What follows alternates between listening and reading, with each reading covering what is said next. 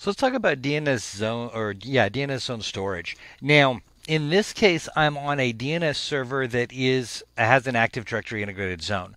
So this server is a domain controller and it has DNS on it with a Active Directory integrated zone here named Bassett331.local. And if I right click on that and go to properties, you'll see that this is an Active Directory integrated zone rather than a standard zone.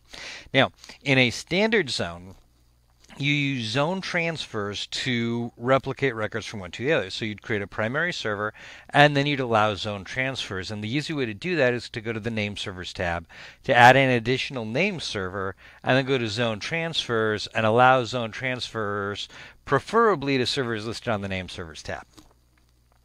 In Active Directory integrated zones, it works a little bit differently because it's stored in the zones are stored in Active Directory and then they're replicated not through zone transfers, but they're replicated through Active Directory replication. And how they're replicated is determined by this setting right here. So if I click on change, you'll see my options.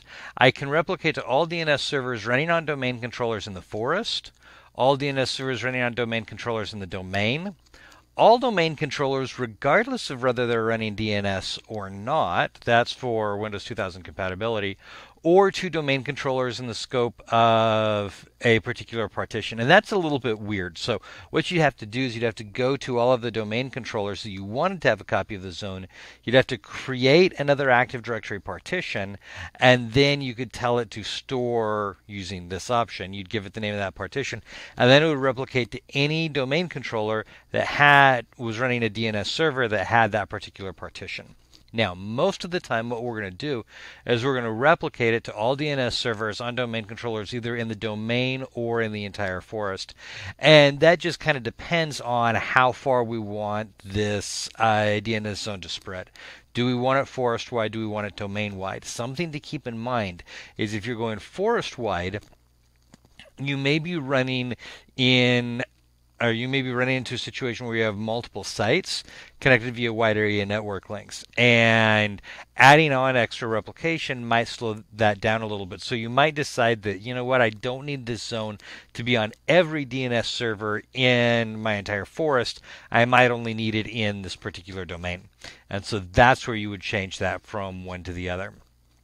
So that shows you where your storage is at and what handles the replication for your Active Directory integrated zones. Now I want to show you one other thing here, and that is with an Active Directory integrated zone, we're allowing dynamic updates. Now you can allow dynamic updates in a standard zone as well.